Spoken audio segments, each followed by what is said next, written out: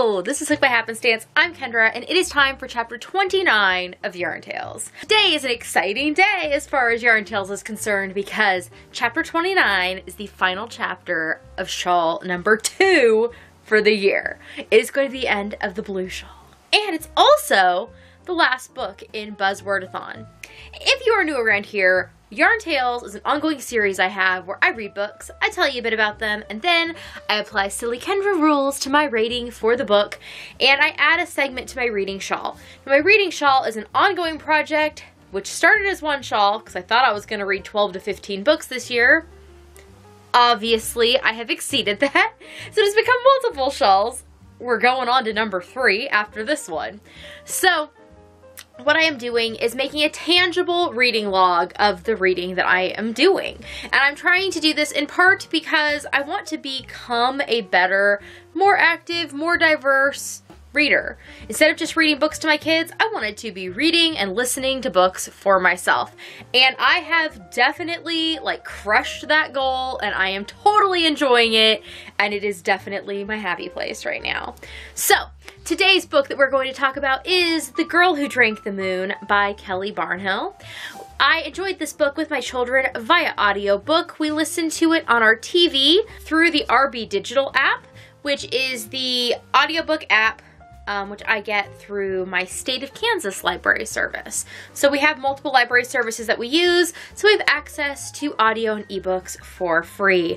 I never pay for those things because they are just a luxury that that I cannot, I cannot afford. So instead, we just use all the great resources the library has. So we took on this book as the book we were kind of going to do together during Buzzwordathon. So the words in question were who, what, when, where, why, and how. And throughout the course of the uh, readathon, which lasted for a week, I personally read all but one word. I did not read a book for where. And technically, we finished this book after the readathon for multiple reasons. Um, we had some technical difficulties a few nights, which made it difficult for us to read the books. And frankly, we just only have so many hours to listen to audiobooks with the kids and I together. The sometimes things take a little longer than the reading, uh, like a readathon span if we're doing multiple books. And we did some that I read aloud also. So, I really can only in a week's time for sure commit to one book that I will finish with the kids. I can get through more personally, um, but yeah, it was just a little bit of a stretch. But I'm still counting it as part of that because that was our intent and we got through the bulk of this book in that time. So, The Girl Who Drank the Moon is a fantastical story about a witch who lives in a forest next to a city, a walled city. Actually, she's between two walled cities. And one of them has this weird sacrifice day practice where they take the youngest baby on sacrifice day and leave them in the woods to appease the witch or so the elders of the town tell all the people.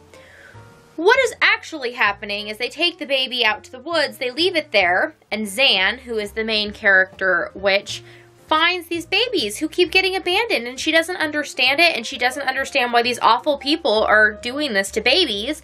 So she takes the babies to the next town who doesn't have enough babies and she gives them the baby, and then she knows they will go to loving homes. Like she goes out of her way to find nice places for these babies to live. So she is not the evil witch. In fact, she is doing everything she can to stop the evil acts of the first town. Now, she gets one of the babies, and she always brings milk with her on the way, goat's milk for the baby to drink.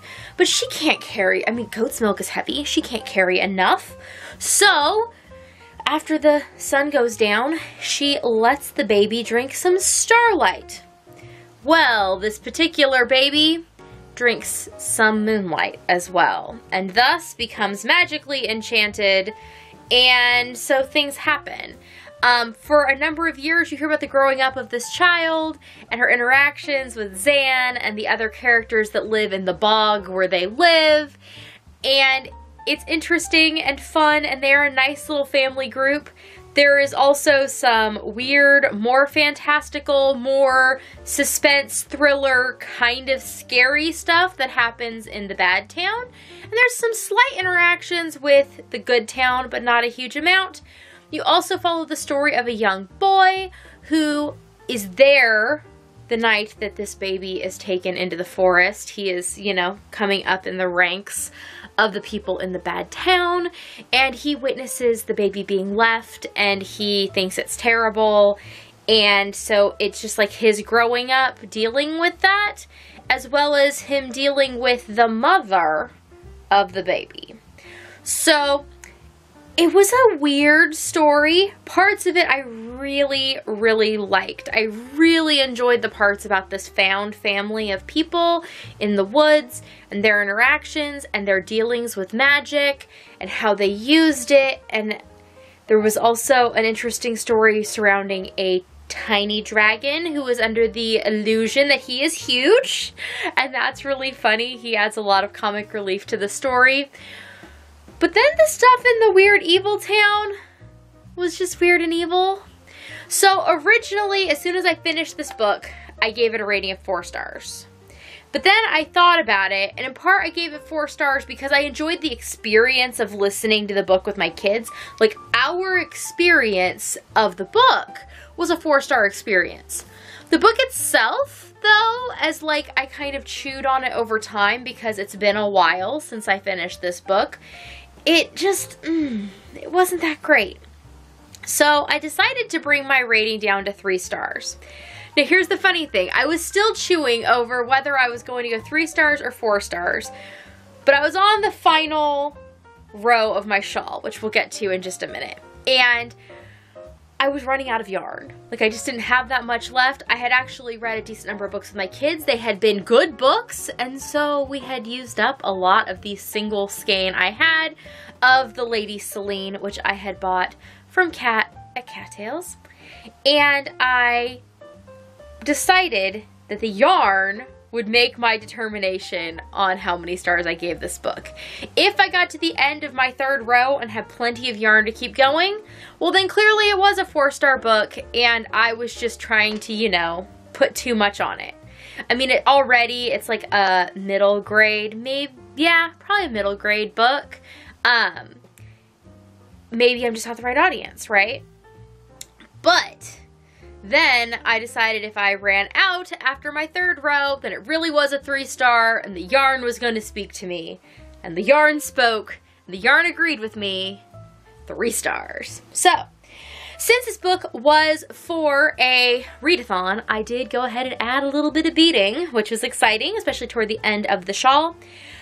I'm using four yarns for my reading shawl, a yarn for books that I consume with my kids, a yarn for books for my Lives Library service where I get a new book every six weeks, books that are physical that I consume on my own, as well as audiobooks that I consume on my own. Each yarn also has a patterning row that I do for it. I do that. If it is for a readathon, I include beads in that row, and then I add a row of textured single crochet for each star that I give the book. I'll move along from there. So this is the final row of my shawl. And here it is. I went ahead and I added um, the little like blue, I don't know, like diamondy beads.